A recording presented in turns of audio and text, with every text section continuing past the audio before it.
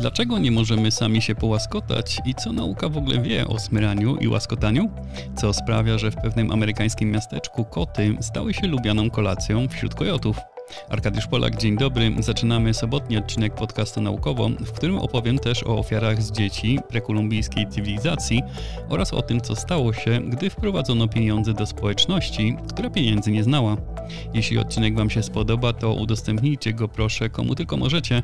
Subskrybujcie podcast, aby otrzymać powiadomienie o kolejnych odcinkach i dajcie znać łapką w górę, komentarzem lub recenzją, czy tematy, o których dziś opowiem, były dla Was interesujące. A jeśli uznacie, że warto wesprzeć moją działalność, to najprościej można to zrobić za pośrednictwem serwisu patronite.pl ukośnik naukowo. Zapraszam Was także na stronę naukowo.net na lekturę ciekawych artykułów z różnych dziedzin nauki. Wszystkie linki znajdziecie w opisie odcinka. Zaczynamy! Gdy człowiek buduje swoje siedliska, drastycznie narusza dotychczasowy układ środowiska na danym terenie. Skala tego mechanizmu jest ogromna, bo już ponad 4 miliardy ludzi żyje w miastach, które stale poszerzają swoje obszary, wpływając na rozmnażanie się zwierząt, ich dietę czy zachowanie. Wówczas część zwierząt stroniących od człowieka po prostu ucieka z danego obszaru, inne pozostają w pobliżu ludzkich skupisk i przystosowują się do życia z takim sąsiadem, dostosowując się do nowych okoliczności. Tak uczyniły w południowej Kalifornii kojoty, które wykorzystują ludzkie miasta jako źródła pożywienia, mieszkając na terenach zielonych wokół nich i spożywając śmieci, owoce i warzywa z ogródków, czy nawet zwierzęta domowe. Stają się także bardziej śmiałe, a nawet przyzwyczajają się do ludzi, gdy są karmione. Ale tak jak ludzie wchodzący na tereny dzikie powodują zmiany w środowisku, tak samo kojoty wchodzące w ekosystem miejski modyfikują go i wchodzą w konflikt z zamieszkującymi miasta zwierzętami, przykład z kotami domowymi. Badania przeprowadzone w Stanach Zjednoczonych pokazały, że koty nie są ulubionym pożywieniem kojotów, stanowią około 2% ich diety. Mówimy tu o kotach wolno żyjących, czyli takich, których właściciele regularnie pozwalają im na samodzielne wędrówki na zewnątrz domów. Jednak w okolicy Los Angeles ta statystyka uwidacznia niemal wojnę między tymi gatunkami, której ofiarą padają koty domowe, stanowiąc tam aż 20% diety kojotów. Jak relacjonują mieszkańcy i zrozpaczeni właściciele, w ciągu 18 miesięcy kojoty zabiły ponad 70 kotów. Wydawać by się mogło, że rozwiązanie tej zagadki jest proste. Oto kojoty wchodzące coraz głębiej w miasta napotykają na szwendające się tam koty i traktują je jako kolejną pozycję w menu. Zawsze lepszy świeży kot niż wygrzebany ze śmieci resztki ludzkiego jedzenia. Okazało się jednak, że wyjaśnienie jest nieco inne.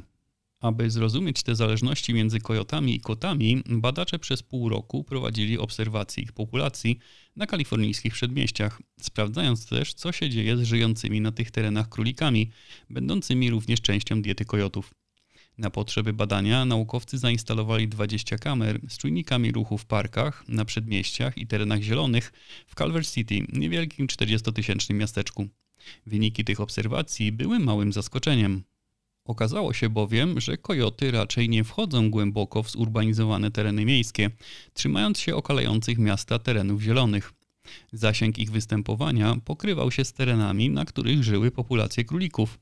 Kojoty miały więc swobodny dostęp do pożywienia i wody, a tereny wokół miast sprzyjały miejscom, w których mogły tworzyć nory, w których chowają młode.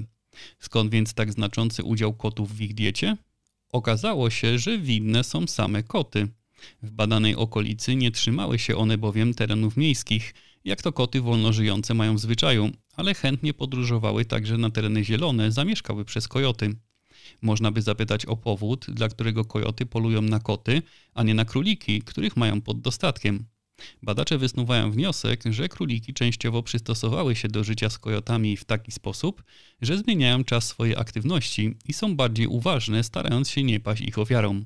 Natomiast koty na badanym terenie wykazywały znaczącą aktywność w nocy. Dla kojotów stanowiły wówczas atrakcyjną formę uzupełnienia diety z królików, które robiły wiele, aby nie stać się kolacją. Badanie ma oczywiście wiele ograniczeń, dotyczy tylko jednego obszaru. Nie wiadomo, czy takie zachowania są w przyrodzie powszechne i czy to głupota kotów prowadzi ich do bycia pożywieniem dla kojotów na obszarach wokół miast. Potrzebne są kolejne obserwacje, które mogłyby sprawdzić wnioski autorów badania, po co więc ta konkretna praca powstała. Otóż zarówno władze miasta, jak i byli już właściciele kotów uważali, że to kojoty są problematyczne i należy rozważyć ich odstrzał w celu zmniejszenia populacji polującej na zwierzęta domowe. Okazało się, że to nie kojoty są tu problemem, ale puszczane wolno koty, które same w sobie są bardzo inwazyjnymi drapieżnikami zagrażającymi szeregowi innych zwierząt. Aby wykluczyć koty z diety kojotów, trzeba rozważyć ograniczenia lub środki kontroli kotów na spornych obszarach. Kojoty poradzą sobie świetnie bez nich, gdy mają dostęp do innego pożywienia, np. królików. Badanie pokazuje też, że statystyka na poziomie globalnym może być zupełnie inna niż lokalnie i zawsze warto przeprowadzać kolejne badania w mniejszych skalach, aby wychwycić nie tylko poziomy, ale też przyczyny takich lokalnych interakcji w środowisku. Około 900 roku naszej ery na terenach dzisiejszego Peru powstała kultura Shimu, która zamieszkiwała te tereny przez kilka wieków, aż do podbicia ich przez Inków około 1470 roku. Północne wybrzeże Peru pomagało im w rozwoju, dostarczając terenów żyznych i płaskich, dobrych do uprawiania roślin i nawadniania. To właśnie rolnictwo wraz z rybołówstwem było podstawą ich wyżywienia, ale kultura ta jest również znana z tworzenia ceramiki, wypalanej w piecach i drobnej obróbki miedzi, złota i srebra. Współczesne odkrycia archeologiczne w Pampa la Cruz odkryły jeszcze jedną, mroczną stronę tego ludu. Badania prowadzone są od kilku lat, odkrywając niespotykane w innych częściach świata masowe groby ludzi i zwierząt składanych w ofierze, przede wszystkim dzieci. W ostatnim czasie znaleziono kolejne 76 szkieletów dzieci, które mają ślady po precyzyjnie wykonanych cięciach przez mostek, co sugeruje, że ich klatki piersiowe zostały przecięte, być może w celu wyjęcia serca. Jeśli ilość poświęconych w ofierze dzieci wydaje się Wam duża, to jest ona zaledwie częścią odnalezionych śladów rytualnych zabójstw. W 2011 roku ojciec jednego z badaczy zgłosił, że regularnie odnajdywane są kości ludzi i lam na pobliskich terenach. Archeolodzy postanowili rozpocząć wykopaliska i od 2014 roku odnaleziono w Pampa la Cruz szczątki 323 ofiar z dzieci, a na drugim stanowisku w pobliżu kolejne 137. Co ciekawe, obok szczątków dzieci i 200 lam odnaleziono zaledwie trzy szkielety osób dorosłych. Czas ich pochówku określono na lata między rokiem 1100 a 1200. Był to czas rozkwitu kultury Shimu. Dzieci złożone w ofierze miały od 5 do 14 lat. Dzięki analizie kości i zębów ustalono, że były w dobrej kondycji. Pochowano je z pietyzmem, odpowiednio układając i zawijając bawełniane całuny. Wiele z nich miało ślady czerwono zabarwionego cynobru, barwnika na bazie rtęci, którego kolor odzwierciedlał siłę duszy zawartą we krwi. Ówczesne ludy często używały rtęci do obrzędów pogrzebowych, o czym szerzej opowiadam w 55. odcinku podcastu naukowo. Zapraszam do odsłuchania. Nasuwa się oczywiste pytanie, czemu miał służyć ten makabryczny i masowo stosowany rytuał. Niestety jest bardzo prawdopodobne, że nigdy nie poznamy prawdziwych powodów, ponieważ w tamtych czasach pismo nie było stosowane i nie ma żadnych udokumentowanych w ten sposób relacji opisujących rytuały czy wydarzenia doprowadzające do tych ceremonii. Niemniej badacze skłaniają się ku pewnej hipotezie. Dowody archeologiczne pokazują, że tereny, na których pochowano ofiary, były wówczas mocno nasiągnięte wodą. Dziś można znaleźć ślady ludzi czy zwierząt odciśnięte wówczas w błocie. Ale tereny te są raczej suche, deszcz pada tam rzadko. Możliwe jest jednak wystąpienie ekstremalnego zjawiska El Niño. Wówczas ciepła woda paruje z południowego Pacyfiku i spada jako ulewny deszcz na wybrzeże Peru, co mogło doprowadzić do zalania pól uprawnych Shimu, doprowadzając do katastrofy żywnościowej. Ów lud stosował praktyki religijne, czcząc bóstwo księżyca Si, stawiając go wyżej niż słońce, ponieważ widoczny był w dzień i w nocy oraz wpływał na plony oraz połów. Być może w obliczu powodzi postanowiono przebłagać bóstwa ofiarami. Tylko dlaczego z dzieci? Także w czasach współczesnych dzieci postrzegane są jako istoty bezbronne i niewinne, nie są skalane uczynkami ludzi dorosłych. Dawniej nie były uważane za pełnoprawnych członków społeczeństwa, a jednocześnie ze względu na swą duchową czystość stanowiły odpowiednio godne dary dla bogów. Aby zapewnić ich odpowiednią ilość, ściągano także dzieci z innych, zależnych terytoriów, być może dobrowolnie, jako zaszczytnych posłańców do bogów. Badacze będą kontynuować wykopaliska w tamtych rejonach, spodziewając się dużo większej ilości ofiar rytuałów, być może nawet powyżej tysiąca. Trzeba bowiem pamiętać, że moralność i światopogląd ówczesnych ludzi były zupełnie inne niż dzisiejsze i to, co wydaje się nam horrorem i okrucieństwem, mogło być wówczas postrzegane jako obowiązek i zaszczyt. Pieniądze szczęścia nie dają, równocześnie biednemu zawsze wiatr w oczy. Gdy nie wiadomo o co chodzi, to chodzi o pieniądze, a od przybytku głowa nie boli. Przysłów i powiedzeń dotyczących pieniędzy jest mnóstwo, co odzwierciedla ich wagę dla współczesnych ludzi. Nie wyobrażamy sobie świata, w którym pieniądz nie istnieje. Pieniądz jest postrzegany jako instrument wolności, a bogacenie się społeczeństw jest celem i pokazuje rozwój cywilizacji. Oczywiście wpływ pieniądza na ludzi i gospodarki jest różny w zależności od kultury społeczeństw, które nim obracają. A nowe badanie, które trwało aż 44 lata, pokazuje jak pieniądz wpływa na ludzi, ich zachowania i normy społeczne. Lud Kun, albo inaczej Zudwasi, to liczące około 30 tysięcy osób społeczeństwo zamieszkujące pustynne tereny na pograniczu Botswany i Namibii. I to te niesprzyjające tereny zmuszały ich do prowadzenia życia koczowniczego, opierając swe przeżycie na zbieractwie, myślistwie i ciągłym poszukiwaniu wody. Ich solidarność społeczna jest bardzo mocna, znani są też spokojowego nastawienia do życia i rozwiązywania problemów za pomocą rozmowy. Robią wszystko, aby nie doszło do użycia siły fizycznej, zresztą w duchu samokontroli wychowywane są od początku dzieci. I tu dochodzimy do pieniędzy, a raczej ich braku, bo jeszcze dwa pokolenia temu lud ten pieniędzy nie znał w ogóle. Ich gospodarka oparta była na dzieleniu się i podarkach. Gdy myśliwy upolował zwierzę, dzielił się on mięsem, bo nie było możliwości jego przechowywania, nierozdzielone po prostu by się zmarnowało, a rozdane przyjmowane było z wdzięcznością przez resztę społeczności. Natomiast prezenty pomagały tworzyć więzi między społecznościami, osobą obdarowaną, darczyńcą i ich krewnymi. Dzięki temu w szczególnie trudnych czasach następowała wymiana ludności między społecznościami w taki sposób, aby potrzebujący mogli przetrwać trudny okres. W 1974 roku aż 69% majątku to prezenty od krewnych, których system zobowiązywał do udzielenia pomocy i brania odpowiedzialności za członków tego ludu. I wtedy do ich życia zawitały pieniądze. W latach 70. stopniowo tracili swoje ziemie, więc rząd Namibii wydzielił dla nich tereny, na których zaczęli hodować zwierzęta i na niewielką skalę uprawiać rośliny.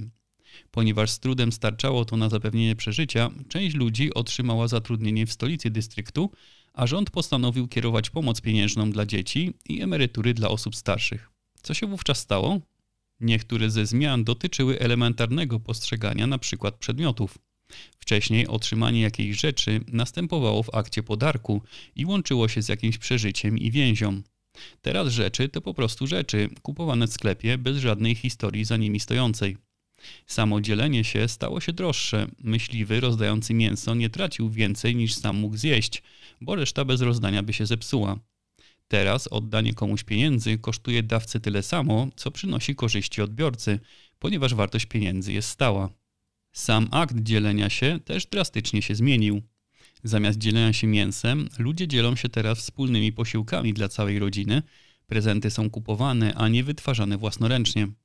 Gdy w 1974 roku obdarowywanie dalekich krewnych stanowiło 23% wszystkich aktów darowizny, to w 2018 roku było to już tylko 1%. Dowodzi to zmianie gospodarki społecznej. Teraz dba się w pierwszej kolejności o najbliższą rodzinę, Pomoc dalszym krewnym i znajomym z innych wiosek zeszła na dalszy plan.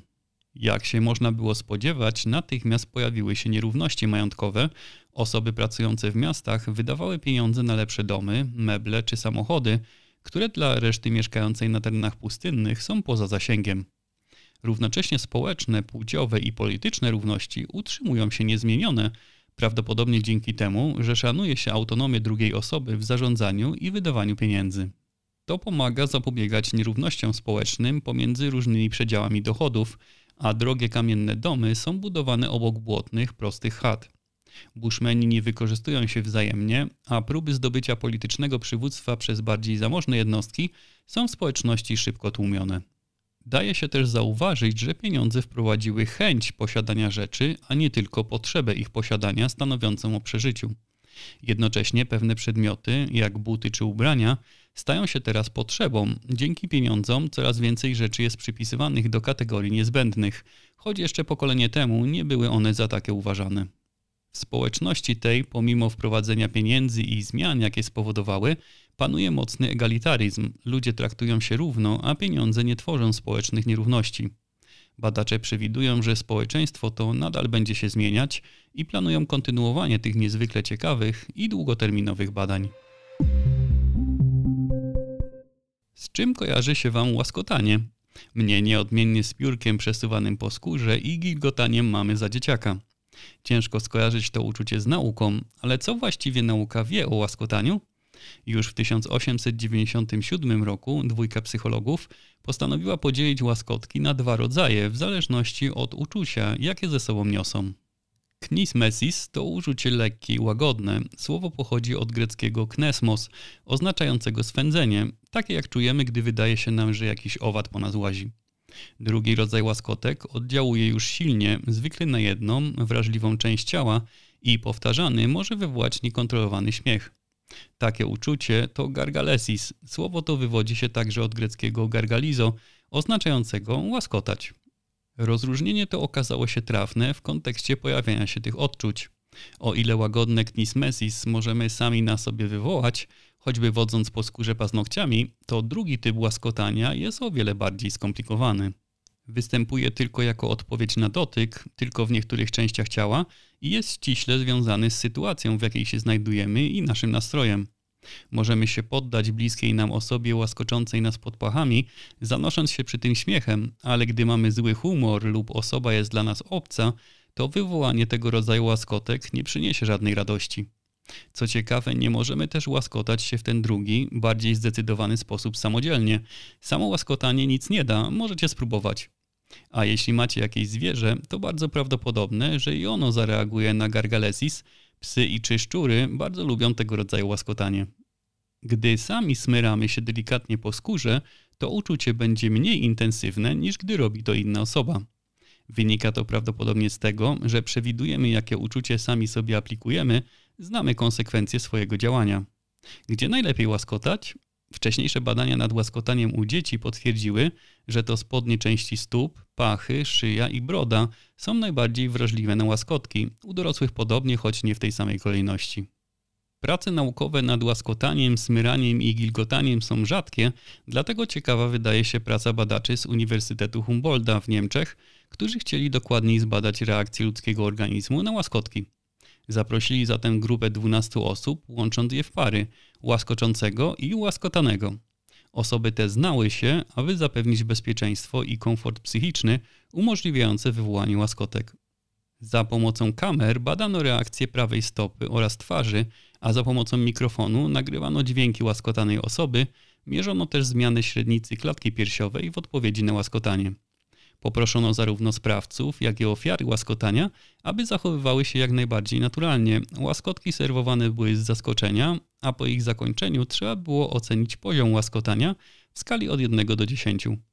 Łaskotane były różne części ciała. W trakcie eksperymentu poproszono też badanych o łaskotanie samych siebie. Wyniki? Głównym efektem łaskotania wrażliwych miejsc jest śmiech – Nastąpił on w 70% przypadków, a inne reakcje organizmu są błyskawiczne. W ciągu 300 milisekund od rozpoczęcia łaskotania mięśnie twarzy zaczynają się poruszać, obwód klatki piersiowej zmienia się, a w ciągu 500 milisekund zaczynamy się śmiać. Badacze wnioskują, że śmiech następuje później, ponieważ wymaga bardziej skomplikowanego przetwarzania emocjonalnego. Autorzy pracy wysuwają też hipotezę, że to jak bardzo wrażliwi jesteśmy na łaskotki może wynikać z różnic w aktywacji układu limbicznego w mózgu i indywidualnych różnic w tempie aktywacji sieci walki i ucieczki. A im bardziej jesteśmy wrażliwi na łaskotanie, tym reakcja naszego organizmu jest szybsza i mocniejsza, co sugeruje, że łaskotanie może być postrzegane za pomocą wielu zmysłów, nie tylko dotyku. Można to zaobserwować na przykład u dzieci, które wiedząc, że czekają je łaskotki, często zaczynają się chichotać, zanim w ogóle poczują dotyk. Zespół badaczy po raz pierwszy zaobserwował również, że łaskotanie siebie podczas bycia łaskotanym przez inną osobę tłumi to łaskotanie. Śmiech wówczas występuje rzadziej i to o 25% oraz jest znacznie opóźniony, aż o 700 milisekund. Dlaczego tak się dzieje? Ze względu na małą próbę badania, naukowcy mogą się jedynie domyślać, że gdy smyramy samych siebie, mózg priorytetowo nadaje informacje do całego ciała, że to nasza czynność, którą należy zignorować, hamując jednocześnie efekt wywoływany przez inną osobę. Bo w końcu łaskotki wiążą się z wieloma bardzo ważnymi mechanizmami naszego mózgu i ciała. Nie tylko dotykiem czy postrzeganiem innych zmysłów, ale także z przetwarzaniem emocjonalnym i reakcją mózgu na bodźce zewnętrzne. Planowane są zatem dalsze badania nad łaskotaniem. Myśli się nawet o wykorzystywaniu maszyn i robotów do łaskotania, aby proces był bardziej powtarzalny. I tym zabawnym badaniem kończymy dzisiejszy odcinek. Życzę Wam wesołego weekendu. Do usłyszenia.